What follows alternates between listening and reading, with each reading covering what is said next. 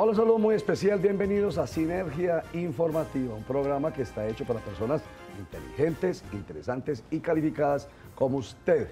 Información política y administrativa que nos convoca todos los días con el ánimo de que vamos tomando conciencia de la importancia de participar. 11 de marzo del año entrante, elecciones parlamentarias. Vamos a escoger al mejor Senado de la República y a la mejor Cámara de Representantes. 26 de mayo del año entrante vamos a escoger al mejor presidente o presidente de la República. Pero antes un saludo a Pedro Palmet, él es el director de mercadeo de Fenalco Solidario. Bienvenido Pedro. Muchísimas gracias por la invitación a, Sinergia Informativa. Fenalco Solidario es una, digamos, extensión de, de la Federación Nacional de Comerciantes Regional Antioquia, pero que tiene que ver con la responsabilidad social empresarial. O sea que todos los asociados a FENALCO deben responder con eso precisamente, responsabilidad social empresarial. Sí, señor. Hace 27 años eh, la Federación Nacional de Comerciantes entendió que debió, debía tener una, mirada hacia los temas sociales, ambientales y crea la Corporación Fenalco Solidario Colombia. Nosotros somos una entidad totalmente independiente, pero trabajamos articulados a todas las seccionales de Fenalco a nivel nacional. Excelente. ¿Y qué es la responsabilidad social empresarial? La responsabilidad social son todas aquellas acciones que están más allá de, lo obligatorio de las organizaciones digamos, las empresas en general, eh, dependiendo su sector, su tamaño, eh, tienen unas obligaciones con diferentes grupos de interés, pero hay unas acciones que van más allá y son esas eh, acciones voluntarias que están articuladas a la, a la visión organizacional. A lo, social. o sea, es un poco la balanza entre la rentabilidad económica y financiera de las empresas, pero que no pueden olvidar la rentabilidad social, lo que le estén aportando a la sociedad desde el punto de vista de esa responsabilidad. Eso implica pues un aporte y un compromiso de las empresas. ¿En qué, por ejemplo? Temas sociales, la ¿Cómo cuáles? El tema de, eh, sostenibilidad es social, ambiental y económico. Digamos que esa es la triangulación. En temas sociales, impacto con la comunidad, impacto con el medio ambiente, impacto con mis colaboradores, impacto con la competencia. Em, Hacer campañas, por ejemplo, campañas que tengan que ver... pero campañas entonces, cómo estoy transmitiendo los mensajes, si estoy siendo coherente, si estoy, estoy comprometido, si estoy transfiriendo una información responsable y que de verdad aporte y genere cambio y transformación social. Ese es el compromiso de nosotros, por ejemplo, en estos canales de comunicación. Nuestro compromiso, nuestra responsabilidad social es intentar que nuestra información sirva realmente, que sea imparcial, ¿cierto? Que intente ser objetiva, que realmente ayude a entender la realidad a la gente y que la gente pueda apropiarse de ella, que le sea útil para que actúe actúe y participe. Y es lo que nosotros creemos que como responsabilidad social, mi querido Pedro Palmet, estamos cumpliendo aquí en Sinergia Informativa.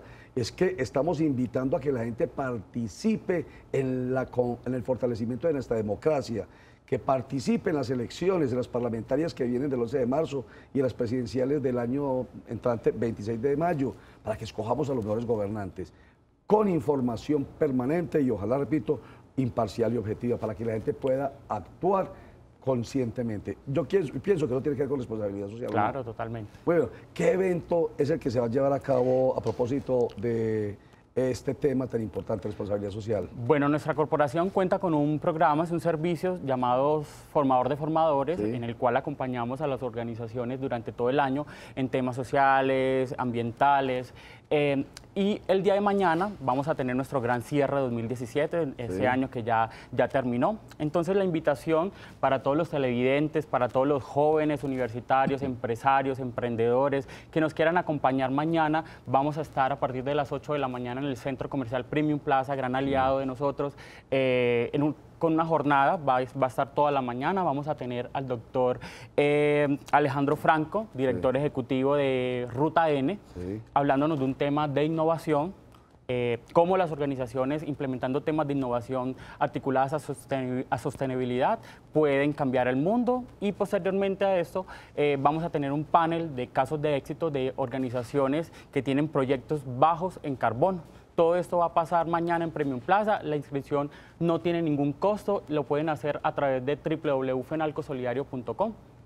Así es sencillo. Así es sencillo. 23 de noviembre, Premium Plaza, Fenalco Solidario. Invita a todo mundo, el que quiera, de manera gratuita, a que participe en este evento. Llama Formador de Formadores. Desde por la mañana ¿A 8 de la mañana? 8 de la mañana. ¿Hasta las? 12 del mediodía. 12 del mediodía. www.penalcosolidario.com para que se inscriban. Muchísimas gracias por estar con nosotros y por la invitación que nos hace a todos usted, Pedro Palmer, quien es el director de mercadeo de Fenalco Solidario. No, a todos ustedes, a los televidentes, gracias por el espacio, por la oportunidad de poder invitar y, y convocar a todas las organizaciones y televidentes. Muchísimas gracias. Recuerden, el compromiso es de todos y de cada uno de nosotros. Y aquí, como medio de comunicación, nosotros insistiremos mucho en que la responsabilidad es de todos. Participemos. Y yo siempre le doy la vueltecita mi querido Pedro, y gracias por permitírmelo. Y participemos tomando las mejores decisiones cuando nos toque elegir a nuestros mejores gobernantes, 11 de marzo y 26 de mayo del año próximo. Una mensaje, regresamos.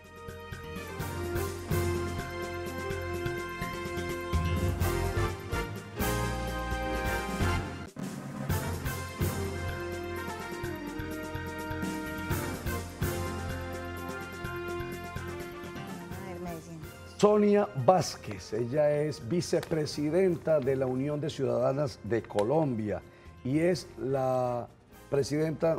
Vicepresidenta. Eh, vicepresidenta de la Unión de Ciudadanas de Colombia. Y hago parte también del Consejo Departamental ah, y Municipal de, Participación ah, Ciudadana. en la mesa directiva? Lo que pasa es que nosotros no, ahí no tenemos mesa directiva. ¿Cómo llama? Eh, consejos de Participación Ciudadana a nivel nacional, municipal y departamental. Perfecto. Creados por la ley 1757. Perfecto. Gracias por estar con nosotros, Sonia Vázquez, aquí en Sinergia Informativa, para personas inteligentes, interesantes y calificadas como usted. Se acaba de aprobar el estatuto tributario por unanimidad en el Consejo de Medellín. Y ustedes, las mujeres que representadas por la Unión de Ciudadanas de Colombia, y por este consejo, me repite el nombre, Consejo de Participación, ciudadana. Pero también ahí estábamos eh, por otra de las actividades que hago importantes en mi vida, que soy delegada de la cooperativa Confiar y por lo ah. tanto hago parte de Confecop, la, asociación de todas las cooperativas. La confederación, exactamente. A nivel Antioquia. Y ahí estuvimos haciendo una tarea muy importante de gestión, de visibilización de todo lo que hacemos desde el sector solidario. Se une mucho todo el tema de mujeres y la economía se logró Entonces, en este estatuto tributario se logró que se respetara que se respetaran las exenciones para el sector solidario. Hasta el 2023 se conservan eh, esas exenciones, sobre todo para lo que, o sea, para las cooperativas, fondos de empleados, a las mutuales y todo lo que tenga que ver con el sector solidario. Mm, descubrimos allí que en el 2011, eh, cuando fui concejala Roger, hicimos una política de economía social y solidaria, que hoy tiene su plan decenal y que es una oportunidad muy grande ahora con esa, como va a seguir esa exención de impuestos, eh, pues darle una actualización para incluir ahí también unas empresas sociales solidarias que no están catalogadas digamos, en la ley normal, pero que en Colombia, específicamente en Medellín, hicimos una innovación social con estas empresas. Y que ahí tenemos esa, esa gran dudita para resolverla, digamos, con el secretario de Hacienda, pero la noticia es... El, el, sector solidario en Medellín sigue con la exención de impuesto de industria y, ¿Y comercio. ¿Cuáles serán esas empresas, esas eh, que usted dice que se está haciendo labor, que está haciendo labor? ¿Cuáles son las empresas? Las empresas sociales que existen en Medellín. Que, no, son, que no son de economía solidaria. no, son de economía solidaria y empresas sociales, pero es una innovación en el que sentido, que no son ni precooperativas ni cooperativas, porque eso les exigía muchos requisitos. En cambio ahora como lo que queríamos era cuando estábamos allá en el Consejo era que esas empresas pequeñas, digamos las juntas de acción comunal, ah, ONGs, que, que funcionan con el sector solidario porque no se no son capitalistas, o sea que no se reparten los excedentes cada uno y se lo mete en su bolsillo, sino que se reinvierten todo lo que ganan ahí para ellas. Esas son las que aún nos falta y las vamos a actualizar, pero logramos hacer una conversación muy grande eh, con la administración eh, para poder visibilizar todo lo que hemos invertido el sector solidario. Es que desde 2012 aquí casi 700 mil millones en apoyos, en auxilios, digamos, en uno, uno puntual, dotación de kits escolares para los almuerzos, digamos, para estudiantes de la Universidad de Antioquia y la Nacional, los demás escasos recursos, dotación inclusive de baterías para para las, las, escuelas, los colegios, y en, recreación, en medio ambiente, en salud, muchas cosas que se, no, se vieron y se mostraron ahí que si nos quitaban esa eh, exención, pues íbamos a estar dejando de invertir directamente, que es lo que nosotros hacemos, como tenemos un, digamos, un conocimiento de las locaciones donde nosotros llegamos en toda Antioquia, pues que nos permitieran seguir con esa potencialidad. Porque recuerde que ya en el, Instituto, en el Estatuto Tributario, a partir del año entrante, nos va a tocar eh, pasar un 20% de los excedentes de, para que también era de, auto de libre eh, ejecución de, parte de la destinación y lo hacíamos también con, con el sector educativo, Medellín 12 mil millones de pesos, pero ya eso va a pasar a la DIAN directamente, o sea que eh, fue una labor importante lo que hizo con FECOI a nivel del sector solidario. Estamos hablando con Sonia Vázquez, ella es miembro en este momento, por lo que lo está contando, presentémosla primero así, de Confecop. Eh, es, Confecop es una especie de... Asesora, sí, de la... Una federación, algo así, ¿cierto? La Federación Nacional de Cooperativas. Entonces, se logra para las cooperativas hasta el año 2023 que haya una exención de los impuestos en el estatuto tributario que se aprobó por unanimidad en el Consejo de Medellín. Una muy buena labor que se viene realizando entonces desde antes, por lo que yo le escucho a usted, desde que fue concejala de Medellín.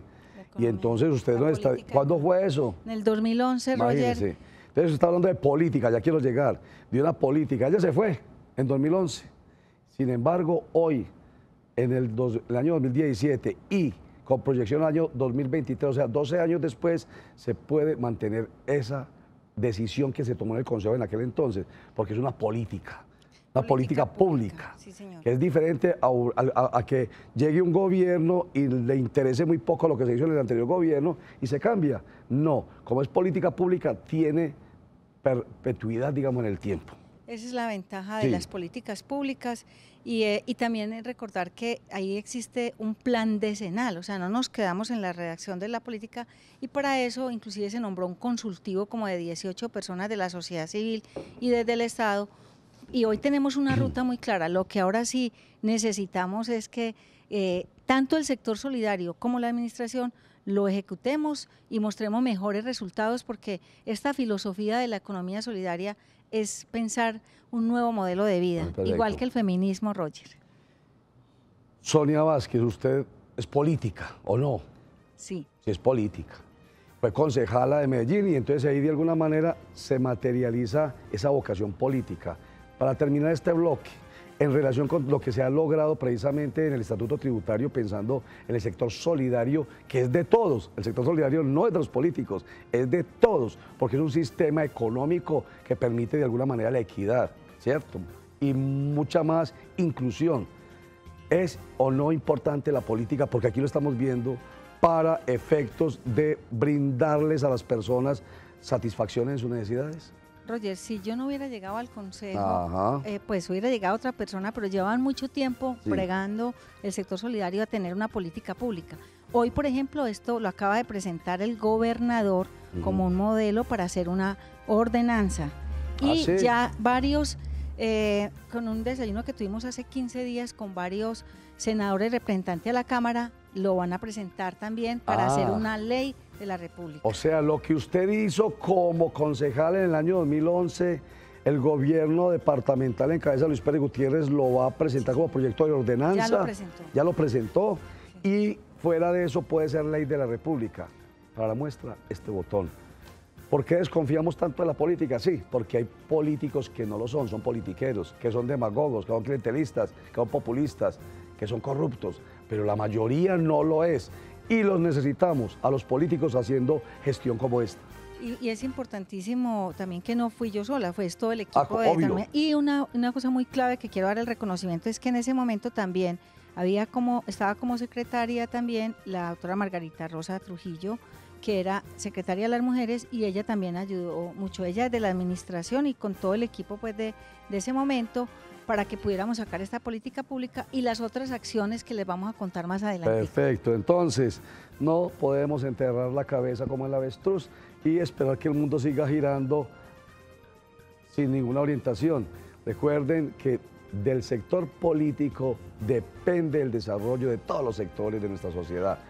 Entonces escojamos a los mejores políticos. En este caso, invitación para que escojamos. Pero vamos, ojalá en montonera, como suena popularmente, a las urnas el 11 de marzo del año entrante a escoger a los mejores senadores y a los mejores representantes de la Cámara. Y las senadoras y representantes. bueno, a usted, como es ya feminista, le gusta poner el, eh, el género. Pero usted también es semifeminista. Pues, a los mejores senadores y senadoras, a los mejores representantes y representantas. No, no muy feo. Ah, bueno. Y las mejores representantes a la Cámara. Y al mejor presidente o presidenta de la República. Tenemos muy Para que escojamos lo mejor por el futuro de nuestro país. Unos mensajes, ya regresamos.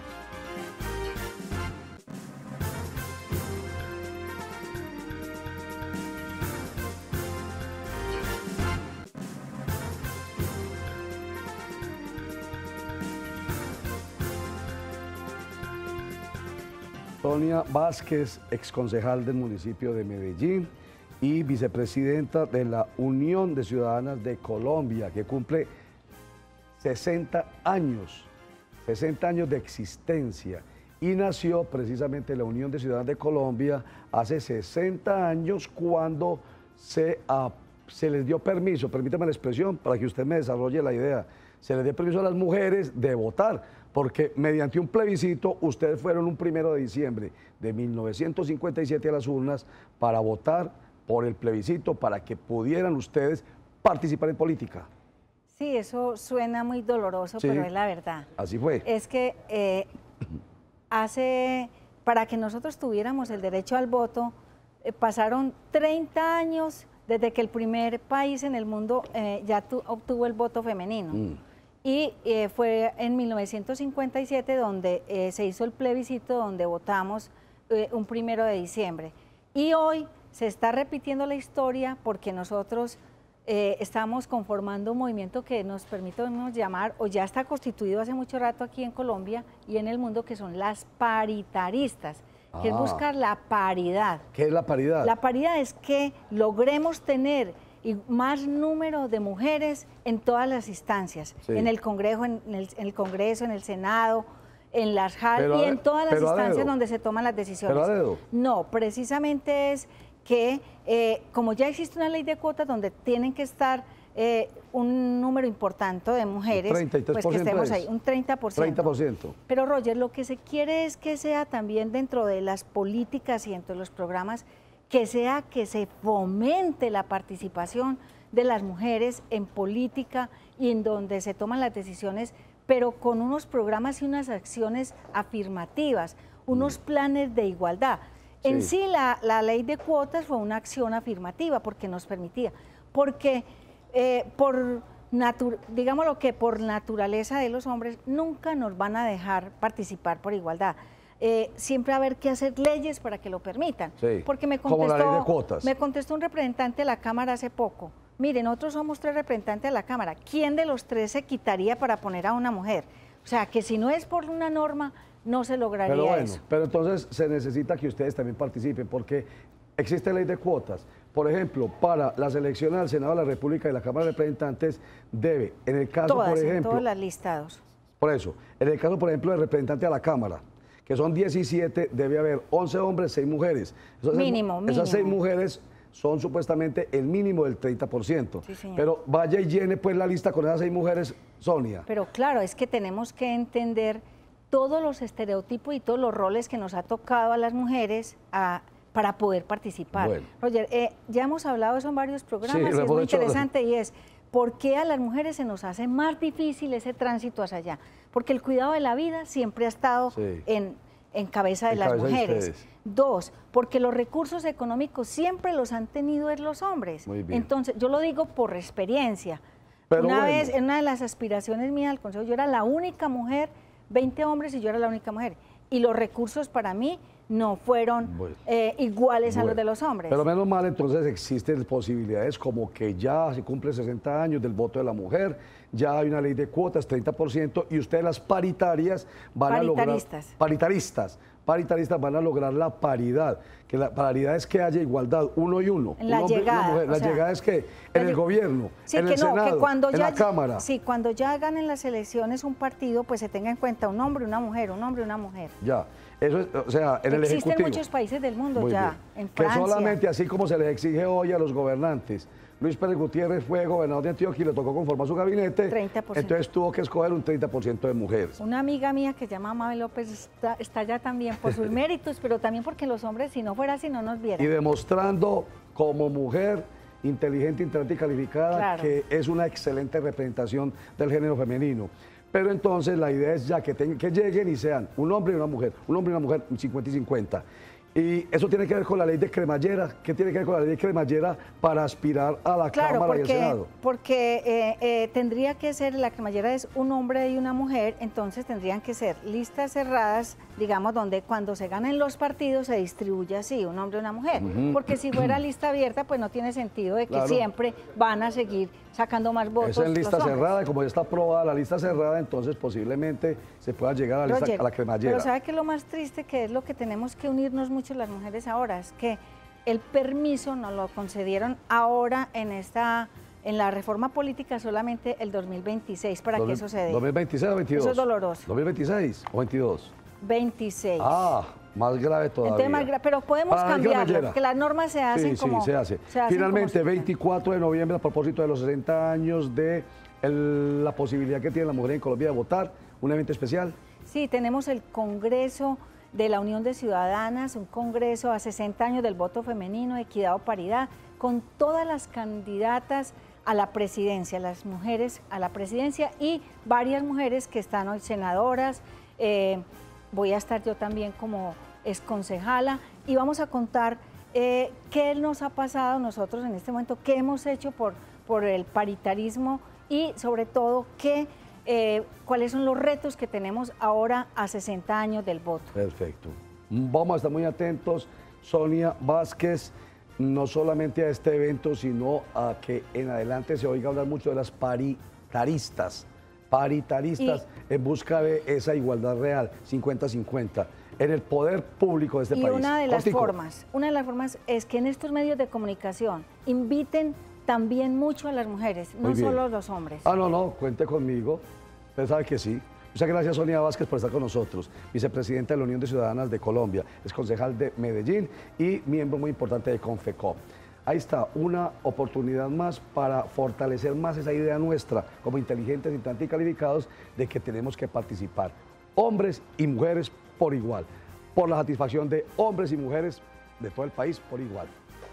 Recuerden que la información en Conmovisión empieza a las 12 del día con Sinergia Informativa, que regresa a las 8 de la noche. A las 5 de la tarde nos cogió la noche, que vuelve a las 9 y 30. Y a las 6 y 45 de la tarde, Germán Mendoza les entrega toda la información en Cosmovisión Noticias, que vuelve recargado de información a las 11 y cuarto de la noche. Muchas gracias, chao.